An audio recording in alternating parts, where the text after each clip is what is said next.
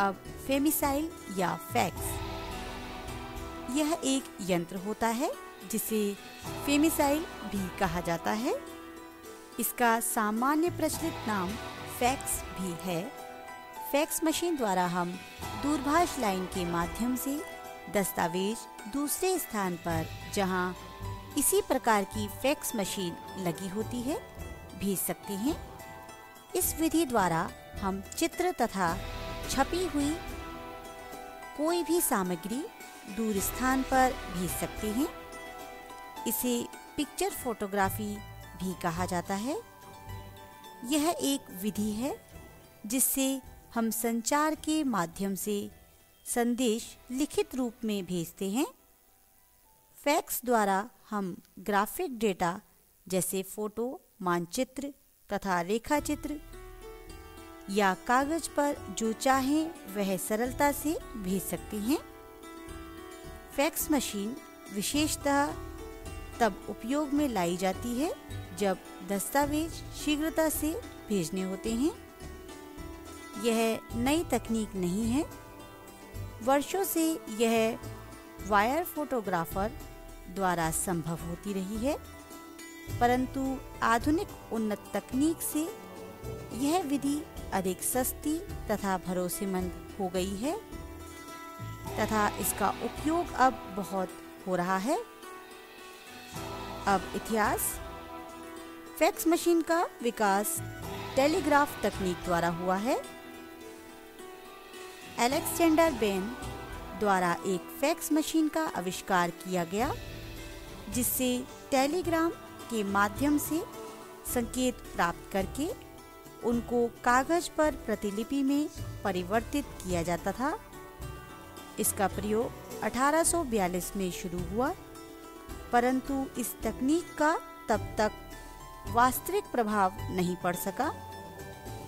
जब तक दूरसंचार, नेटवर्क तथा कंप्यूटर की उन्नति नहीं हुई, अब फैक्स उपकरण के प्रकार आजकल गति व तकनीक के आधार पर तीन प्रकार की फैक्स मशीन उपलब्ध हैं। पहला वर्ग, अर्थात एनालॉग टाइप मशीन की लोकप्रियता अब घट रही है। कम चाल वाली इकाई, इस समूह में आने वाली मशीनों का कार्य दस्तावेज़ को स्कैन करने के बाद भेजना तथा प्राप्त करने के पश्चात उसको चार से छह मिनट में प्रिंट करना होता है। यह सबसे पहले आई थी तथा एनालॉग तकनीक पर आधारित थी।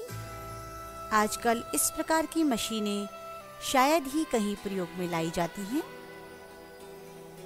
अगली मध्य चाल की इकाई। इस प्रकार की मशीनों की भेजने की गति एक से तीन मिनट होती है। यह इकाई एनालॉग या डिजिटल तकनीक पर आधारित है। इस वर्ग की कई मशीनें तो कम गति की मशीन के समान ही कार्य करती हैं, इसलिए संदेश भेजने की गति भी धीमी ही होती है। अब उच्च चाल की इकाई, इस वर्ग की मशीन में पूर्णतः डिजिटल तकनीक प्रयुक्त होती है, तथा संदेश भेजने की गति एक मिनट से भी कम होती है। इस प्रकार की मशीनें आजकल प्रतिष्ठानों में अत्यधिक लोकप्रिय हैं। अब संचालन के सिद्धांत। फेमिसाइल संचार में दो फैक्स मशीनें, एक भेजने के लिए तथा दूसरी संदेश प्राप्त करने के लिए प्रयोग में लाई जाती हैं। तथा उन्हें दूरभाष लाइन से जोड़ा जाता है। पहली भेजने वाली इकाई, दस्तावेज़ को प्रकाश के माध्यम द्वारा जांचा जाता है या दस्तावेज़ को प्रकाश बिंदुओं में परिवर्तित करके इलेक्ट्रिकल संकेतों द्वारा दूरभाष माध्यम से भेजा जाता है। इसी प्रकार चित्र से संबंधित टोन की विभिन्नता को एसी एप्लीट्यूड की भिन्नता में बदलकर प्राप्तकर्ता की लाइन पर भेजा जाता है। दूसरी प्राप्त करने वाली इकाई, यहाँ पर एक स्थिर श्रोता से प्रकाश फोटोग्राफिक सामग्री पर डालने का प्रबंध होता है, तथा प्राप्त किए गए प्रकाश बिंदुओं को भेजने वाले की समान गति से स्कैन किया जाता है। प्राप्त होने वाली तरंग बिंदु के बदलाव से प्रकाश वाल्व का संचालन होता है, जो फोटोग्राफिक सामग्री पर पड़ने वाली प्रकाश की तीव्रता को नियंत्रित करके वास्तविक फ़ोटो को पुनः चित्र के रूप में तैयार करता है। प्राप्त करने वाली मशीन प्रतिबिंब की डिजिटल सूचना को पुनः बदलकर आउटपुट को फ़ोटो सेंसिटिव कागज़ पर चित्र का प्रतिलिपि प्रिंट कर देता है।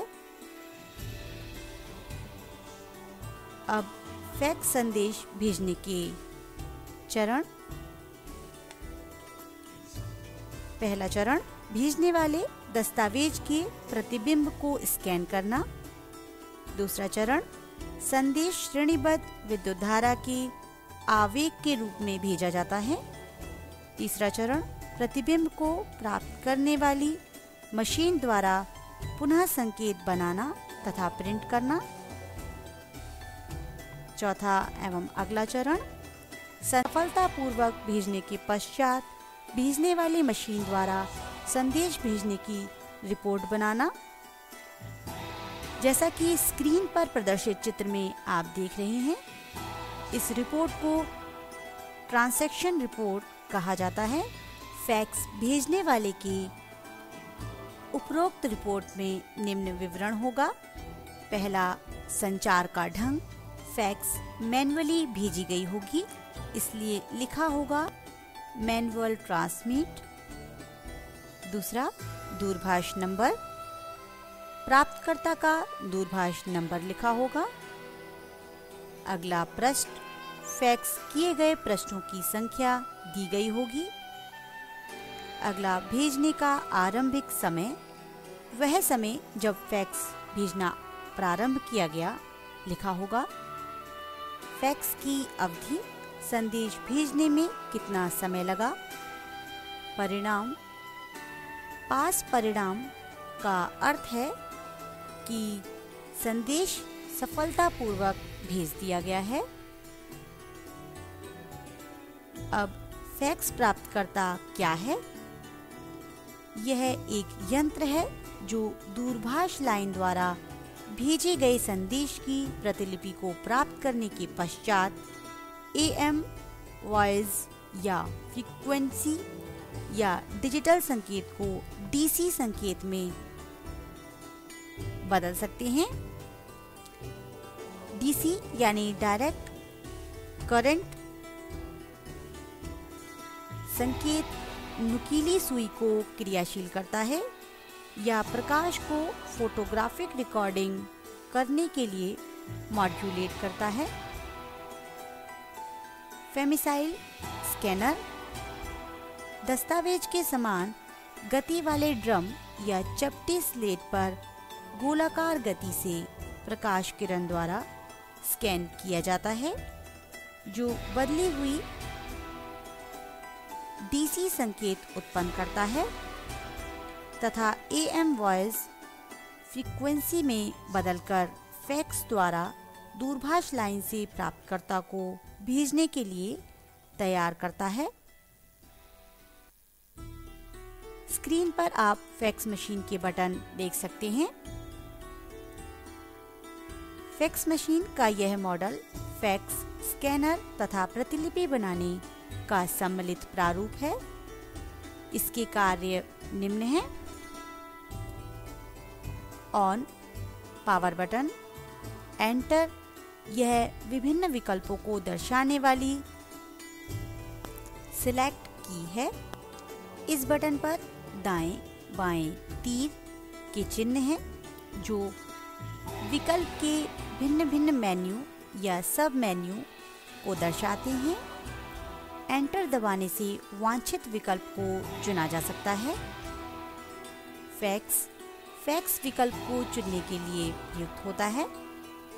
कैंसिल यह बटन दी गई कमांड को कैंसिल करने का अर्थात हटाने का कार्य करता है। ब्लैक कलर यह बटन प्रिंटिंग के रंग नियंत्रण के लिए प्रयोग में लाया जाता है। Number pad. नंबर पैड जो मशीन के बाएँ ओर होते हैं, नंबर टाइप करने में प्रयोग होते हैं। यह प्रतिलिपि की संख्या में प्रयोग होते हैं। Paper tray. मुख्य मशीन के नीचे एक पेपर ट्रे रखी होती है, जिसमें पेपर रखा जाता है। प्राप्त फैक्स संदेश इस पेपर पर प्रिंट होते हैं। रीडायल यह बटन एक बार डायल किए गए नंबर को उन्हें डायल करने के लिए काम आता है। स्पीड डायल यह डायल करने की गति को बढ़ाने का कार्य करता है। स्टार्ट फैक्स भेजने तथा प्राप्त करने के लिए प्रयुक्त होता है। सेटअप कंप्यूटर में पहले से डाले हुए विकल्पों को पुनः प्राप्त करने के लिए इस बटन को प्रयोग में लाया जाता है। फैक्स के संदेश दो प्रकार के कागज़ पर प्राप्त किए जा सकते हैं। पहला, चमकदार, यानी थर्मल। चमकदार पेपर पर लिया गया प्रिंट कुछ समय बाद हल्का पड़ जाता है। दूसरा, साधारण पेपर। यानी ऑर्डनरी पेपर आजकल साधारण पेपर पर फैक्स प्रिंट लिया जाता है, जो बहुत समय तक खराब नहीं होता है।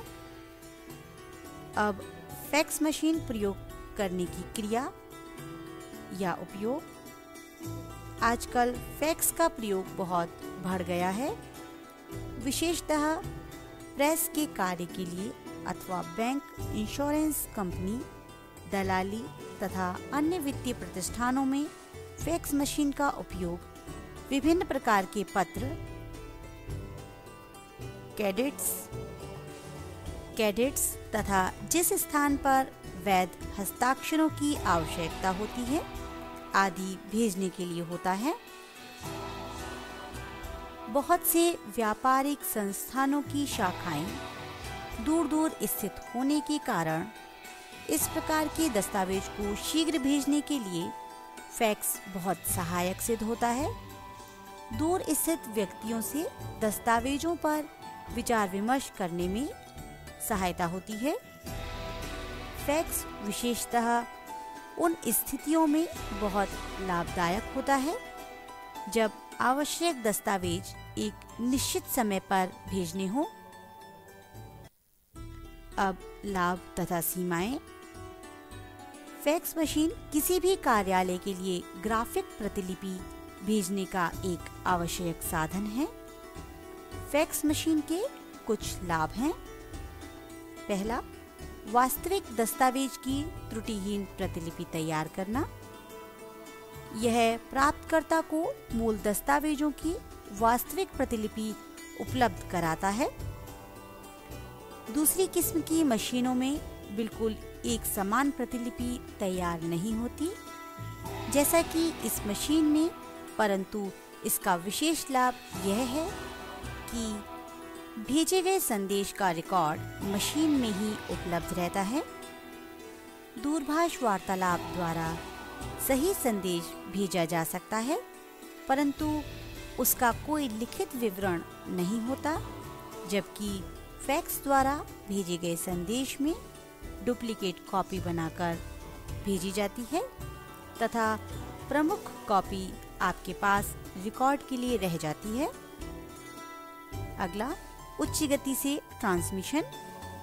भेजने वाले की मशीन से दस्तावेज़ का ट्रांसमिशन तुरंत प्राप्तकर्ता को प्राप्त हो जाता है। जैसे दूरभाष में कहीं बात तुरंत सुनाई दे जाती है, उसी प्रकार फैक्स भी तुरंत दूसरे व्यक्ति को प्राप्त हो जाता है। फैक्स एक डाक भेजने तथा प्राप्त करने का विकल्प भी है। इसके माध्यम से दस्तावेज़, कोरियर या डाक सेवा के मुकाबले बहुत शीघ्रता से भेजे जाते हैं। डाटा सही भेजना, क्योंकि फैक्स द्वारा डाटा को पुनः टाइप करने की आवश्यकता नहीं होती। अतः त्रुटियों का मुख्य स्रोत समाप्त हो जाता है। फैक्स मशीन किसी व्यक्ति की सहायता न लेकर स्वयं ही दस्तावेज़ प्राप्त कर सकती है, तथा यदि निर्देशित कर दी जाए तो यह सभी प्रकार की रिपोर्ट्स भी तैयार कर देती है, जिसको सुबह चेक किया जा सकता है।